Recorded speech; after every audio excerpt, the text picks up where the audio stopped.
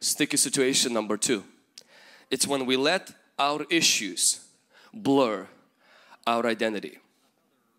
When we let our issues blur our identity.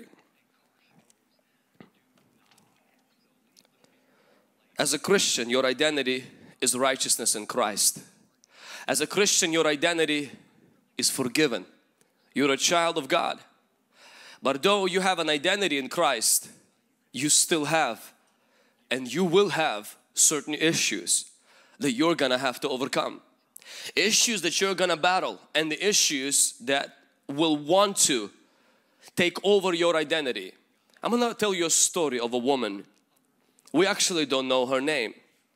The scripture says in Luke chapter 8 verse 43 a woman having an issue of blood 12 years which has spent all her living upon physicians neither could be healed by any. This woman has no name and this woman is called by her issue because she had this issue and after a while this issue has her. This issue is what she's known by. They don't even call this woman by her profession. They don't call this woman by her degree. They don't call her by her financial status. They don't call her any other name. They call her a woman with an issue. Have you ever been called by your issue? Has other people ever referred to you not by even your name, by what you struggle with, by your weakness? And see, when we come to church many times, we come and God wants to know our name. And when He asks Jacob, what is your name? And Jacob says, my name is Jacob.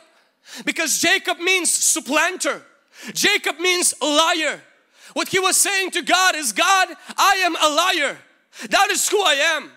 And God says, I'm going to give you a new name. Your name is going to be Israel. You're not going to be known by your issue. You're going to be known by your fighting spirit. And you will overcome that issue because you will get an identity. When you come to church, what God wants to do, He wants to split your identity from your issue. Faith wants to raise your identity up and put the issue where issue belongs under your feet. Even if that issue is a sin you struggle with, but listen, God doesn't look at you by your issue. He looks at you through His precious blood and the blood of Jesus Christ. Every person has issue. But when Jesus looked at this woman, the Bible says He called her not a woman, He says daughter. And he didn't say woman with an issue. He says, daughter, great is your faith and your faith has made you well. God doesn't look at you at your issue. He looks at you through your identity and He doesn't see a problem, He sees a faith.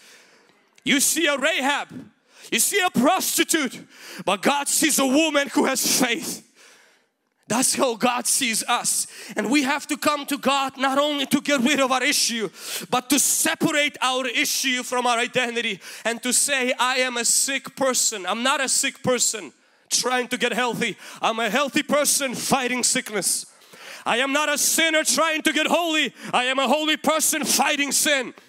I'm not a weak person trying to get strong. I am a strong person fighting weakness. Can somebody say amen? Your identity is greater than your issue. Ground yourself in your identity. Maybe you've lost certain things because of your sin. Maybe other people look at you look down on you because of your sin. That is their problem. Make sure in your subconscious you keep clear mind of who you are in Christ.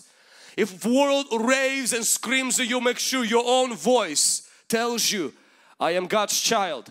I am forgiven by Christ. I am washed by the blood. I know you know me by my past, but Christ knows me by the cross and by the forgiveness in His blood.